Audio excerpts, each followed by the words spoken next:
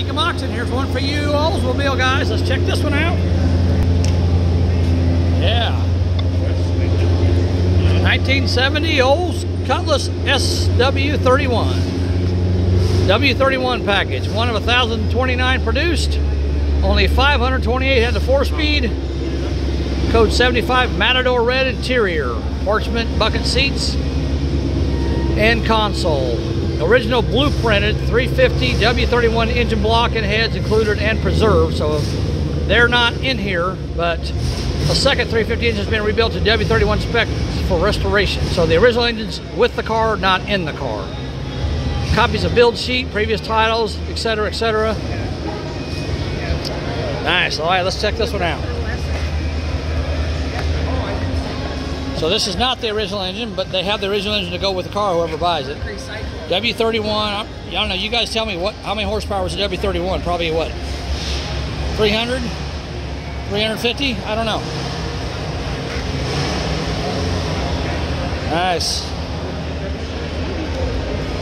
I don't know if those wheels are what went on the car or not. I think those might have been Chevelle wheels. They look like Chevelle wheels to me, but I don't know. You guys tell me. Got the wood grain dash on it. The Oldsmobile was the uh, the luxury version of the sports car. So we got 120 mile an hour speedometer, clock. Uh, really don't. Well, you got a few gauges there, I guess, don't you? Yeah.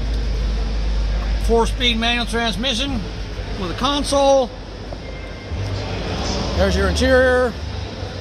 Not bad. It's a beautiful car.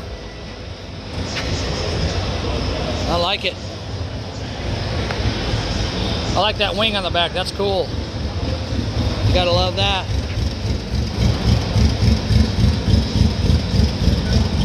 Yeah. What do you guys think of that, Oldsmobile guys? You like it? Beautiful car. I'm sure I'm sure it got down the road, no problem. W31. There you go.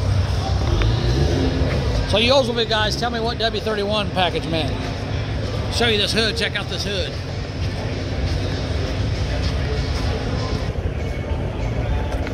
That's pretty cool. All right, there's one for you guys. 70 Cutlass W31 package. See you later.